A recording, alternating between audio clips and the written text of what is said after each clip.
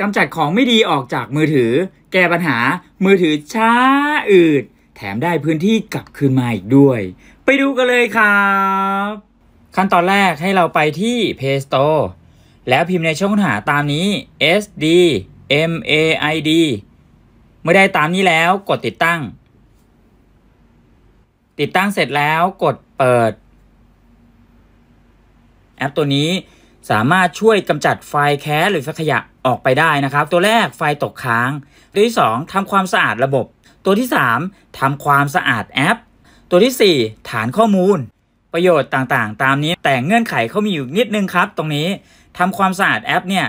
เราจะใช้ได้ก็ต่อเมื่อต้องสมัครแบบเสียตังค์ของเขาก็คือ เป็นการอัปเดตเป็นแบบ Pro ก็คือเสียค่าใช้จ่ายในที่นี้ครูหนึ่งไม่แนะนำให้พวกเราเสียค่าใช้จ่ายดังนั้นทำแค่นี้ก็พอแล้วครับ เพราะว่าคุณหนึ่งเทสมาแล้ว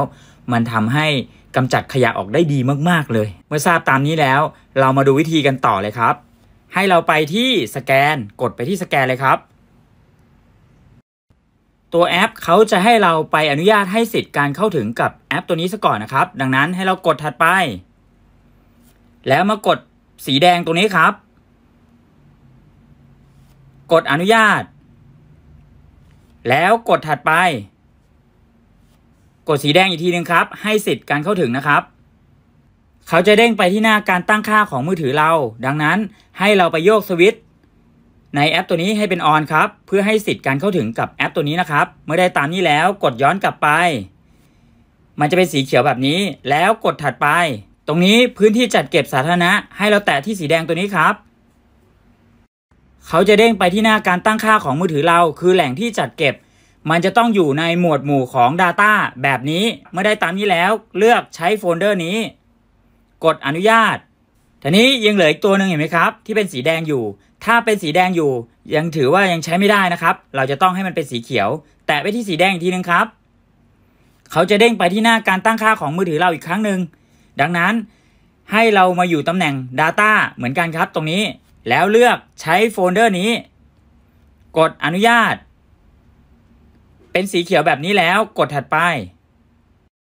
และยังมีอีกตัวหนึ่งครับ ให้เราไปให้สิทธิ์การเข้าถึงเขา กดไปที่แถบสีส้มนี้ครับ เขาจะเด้งไปที่หน้าการตั้งค่าของมือถือเรา ตรงนี้ให้เราเลื่อนหาแอปตัวนี้ครับ แอปตัวนี้ชื่อ SD ตัวนี้ครับ กดเข้าไป แล้วไปโยกสวิตช์ให้สิทธิ์การเข้าถึงเขาครับ ให้เป็นออนแบบนี้ เมื่อได้ตามนี้แล้วกดย้อนกลับไป กดย้อนกลับไป จะกลับมาที่หน้าแอป แล้วเขาจะเป็นแถบสีเขียวแบบนี้ หลังจากนี้แล้วกดเซตในระหว่างนี้ระบบจะทำการสแกน เราก็รออย่างเดียวเลยครับไฟล์ต่างๆ ที่สะสมอยู่ในเครื่องของเรานะครับ เป็นไฟล์ขยะที่ครูหนึ่งบอกไว้เนี่ย มันเป็นไฟล์ที่เราไม่ได้ใช้งานแล้วนะครับ มันจะหายในส่วนของไฟล์ที่เป็นไฟล์แคชที่มาสะสมอยู่ในเครื่องเราที่มันไม่เกิดประโยชน์เลย ดังนั้นเราควรจะกำจัดออกด้วยแอปตัวนี้นะครับ ในระหว่างนี้เราก็รออย่างเดียวเลยครับ ตอนนี้เขาเสร็จทั้งหมดแล้วนะครับ อ่า พอเขาทำเสร็จแล้วนะครับ มันจะมีข้อความสรุปขึ้นมาตรงนี้นะครับว่า เรียกใช้เดี๋ยวนี้นะครับ ถ้าเกิดว่าเรากดสีแดงตัวนี้ปุ๊บนะครับ เราจะได้พื้นที่เพิ่มขึ้นมาด้วยเห็นไหมครับ 1.73 จิกเชียวนะครับ นี่เห็นไหมครับ โดยประมาณเขาบอกไว้นะครับ ดังนั้นในที่นี้นะครับ เครื่องของเพื่อนๆนะครับ ได้พื้นที่กลับคืนมาเท่าไหร่กันบ้างครับ ยังไงรบกวนคอมเมนต์เล่าครูหนึ่งฟังบ้างนะครับ ซึ่งเครื่องของครูหนึ่งเนี่ยได้มา 1.73 เลยเห็นไหมครับ ตรงนี้นะฮะเมื่อได้ตามนี้แล้วกดที่สีแดงตัวนี้ได้เลยครับ แล้วก็กดเรียกใช้ เขาจะเคลียร์ออกไปเลย ทำความสะอาดออกนะครับ ในระหว่างนี้ก็รออีกรอบหนึ่งครับ เมื่อเสร็จแล้วนะครับก็จะขึ้นมาเป็นแบบนี้นะครับ ซึ่งมันจะมีอยู่ข้อหนึ่งเห็นไหมครับที่คุณหนึ่งบอกไว้ อันนี้เราต้องสมัครแบบโปรนะครับก็คือเสียเงิน อันนั้นเราไม่ต้องใช้ละดังนั้น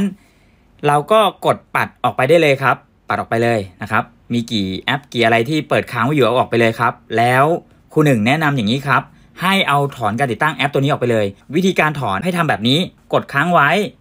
แล้วไปที่ข้อมูลแอป หรือว่าเกิดใครไม่มีข้อมูลแอปนะครับ ให้ไปที่การตั้งค่าแล้วไปแหล่งรวมแอป มันก็จะเข้ามาในหน้าแบบนี้เหมือนกันเลยนะครับ ดังนั้นให้เราไปต่อที่การใช้เนื้อที่เก็บข้อมูล ให้เรามาตรงนี้ครับ กดล้างแคสแล้วก็กดล้างข้อมูล กดตกลงครับยังครับมันจะมีตรงนี้อยู่ที่จัดเก็บภายนอกเห็นไหมครับเนี่ย ให้เรามายกเลิกอนุญาตการเข้าใช้งานด้วยครับ กดยกเลิกอ่าเรียบร้อยแล้วนะครับ ให้เป็นแบบนี้ แล้วกดย้อนกลับไป กดบังคับหยุด กดบังคับหยุดครับ แล้วกดลบ เราจะไม่ติดตั้งเอาไว้นะครับ กดลบ เรียบร้อยแล้วครับนะครับ เรียบร้อยแล้วทีนี้พอหลังจากนี้นะครับ ถ้าเกิดว่า เราอยากจะทำการล้างไฟขยะหรือกำจัดขยะออกอีกนะครับ เราก็ไปทำการติดตั้งเหมือนที่คุณหนึ่งแนะนำมาข้างต้นทั้งหมดนะครับ พอติดตั้งเสร็จแล้วเราใช้งานแล้ว เราก็ลบถอนการตั้งแบบที่คุณหนึ่งแนะนำนะครับ เราจะได้ปลอดภัยแล้วก็ไม่ต้องโหลดแอปมาติดตั้งให้มันเกะกะเครื่องหรอกนะครับ ก็ทำตามนี้กันได้เลยนะครับ ส่วน ระยะเวลาการที่เราจะกำจัดขยะนั้นก็ขึ้นอยู่กับการใช้งานของเราเป็นหลักแต่หลักๆ แล้วเนี่ยคุณหนึ่งแนะนำให้ทำเดือนละหนึ่งครั้งก็พอ เป็นไงกันบ้างครับทำแล้วเครื่องลื่นขึ้นเร็วขึ้นหรือเปล่า ใครใช้ยี่ห้อรุ่นอะไรคอมเมนต์เล่าคุณหนึ่งฟังบ้างนะครับทำไมคุณหนึ่งถึงนำเอาแอปพลิเคชันมาเป็นตัวช่วย สาเหตุก็เป็นเพราะว่า วกเราใช้มือถือยี่ห้อรุ่นต่างกับที่คุณหนึ่งใช้เหลือเกิน ดังนั้น แอปพลิเคชันจึงเป็นตัวกลางในระหว่างพวกเราและคุณหนึ่งมาเป็นตัวประสานกัน เมื่อทำแล้ว มือถือเราจะลื่นขึ้นเร็วขึ้นจริง ๆ อย่าลืมแชร์ไปแบ่งปันความรู้ดีๆ แบบนี้ให้กับเพื่อนๆร่วมกันด้วยนะครับ ครูหนึ่งสอนดี และยังมีเคล็ดลับและเทคนิคดีๆ มากมาย เลือกดูได้ที่เพลย์ลิสต์ที่ช่องครูหนึ่งสอนดีได้เลยนะครับ ที่สำคัญอย่าลืมแชร์ออกไปแบ่งปันให้กับเพื่อนๆกันด้วยนะครับ จะได้เกิดประโยชน์กับเพื่อนๆร่วมกัน